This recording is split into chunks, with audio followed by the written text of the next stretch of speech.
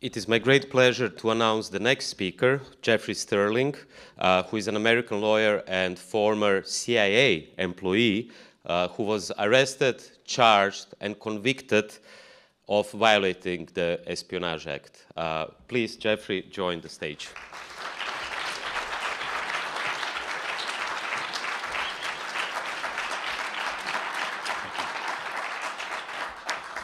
Is an absolute honor to be here uh, today, uh, here at the Press Club. Or years ago, uh, my wife uh, spoke on my behalf about the injustice that happened uh, to me. Um, I spent two and a half years in prison after being wrongfully convicted on no evidence of violating the Espionage Act. It was a travesty of a trial. Uh, and that sentence was held up as a shining example of the reasonableness and fairness that Julian Assange will face uh, being tried here for violating that same Espionage Act. I remain sickened to this day that my persecution was held up as the benchmark of what Julian Assange is going to face in trial here. Of course, the benchmarks they did not talk about include my experience fighting against the Espionage Act, a biased criminal justice system, and the realities of being behind bars here in the United States. I can tell you that any claims of fair or humane treatment in store for Julian Assange here within our criminal justice system and prisons were outright lies.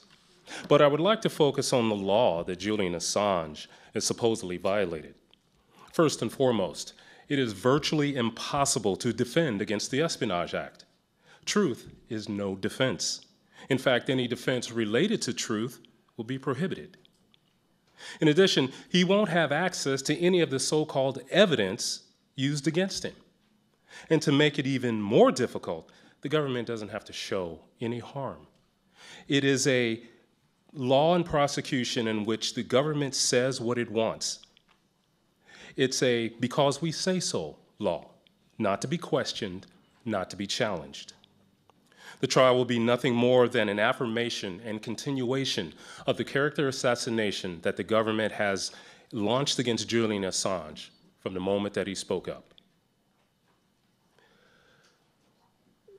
So, but what are we really talking about here? I mean, what is this law, the Espionage Act, that he's accused of violating and that I was accused of violating? You know, we're led to believe that Julian and other whistleblowers are threats to the national security of this country, hence being charged with violating the Espionage Act. But I'm living proof of what national security actually means here in the United States. Here's a real benchmark they don't tell you about.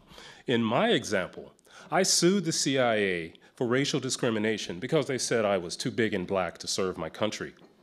According to the government in that instance, and upheld by the same courts that they're intending to try Julian Assange was that a black man fighting for his constitutional rights is a threat to national security. Not a surprise, really. One of the original and enduring threats uh, to the national security of this country is and has always been African Americans.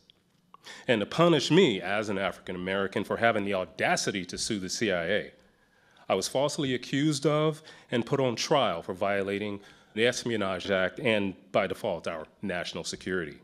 The only evidence needed to convict me was the color of my skin.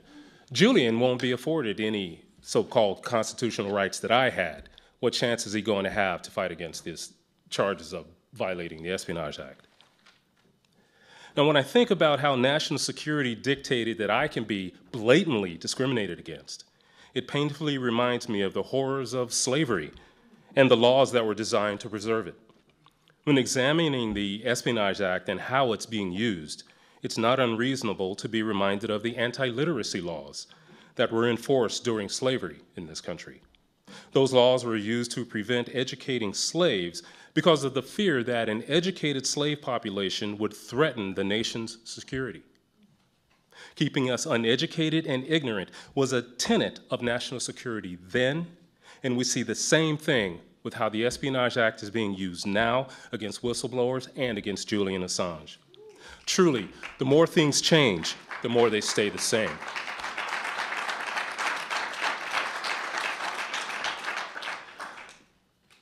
When we look at it, the Espionage Act is no different than those anti slavery laws. They both represent and they are the very, the very embodiment of white supremacism that has always been a part of the identity and governance of this country.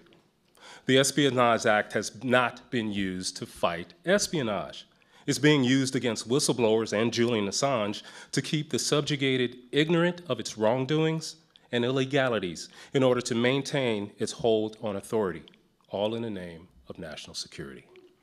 I mean, think about it. None of the Espionage Act prosecutions have or are even allowed to examine the truth of the matter brought to light by the whistleblower. The focus is always only on what was done for the sake of education and accountability. The white slave owners knew the truth. An educated slave won't be a slave for long. That is what this Espionage Act is about. What this endless persecution of Assange and whistleblowers everywhere has always been about, all in the name, again, of national security. And thanks to complicity like from the United Kingdom, who has been all too willing to serve Julian up to the US, that same ideology is expanding beyond the bounds of slavery and fomenting racial discord in this country to reach perceived threats anywhere under perfidious claims of national security.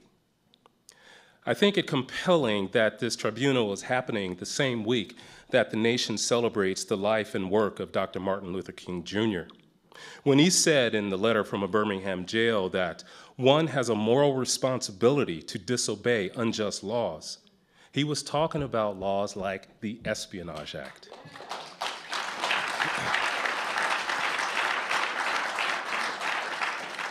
What makes the Espionage Act unjust is that it is not being used to protect this nation. It does not apply to the power brokers in this nation. It is being used to keep us all slaves. It is therefore an unjust law and should be disobeyed. The most immediate and meaningful way this wrongful law can be disobeyed is by the release of Julian Assange. The US government has already demonstrated a boundless intent to persecute those who dare reveal its transgressions, and it won't end with Julian Assange. Free the man. None of us will be free until he is released and the Espionage Act is abolished. Set the man free. Thank you.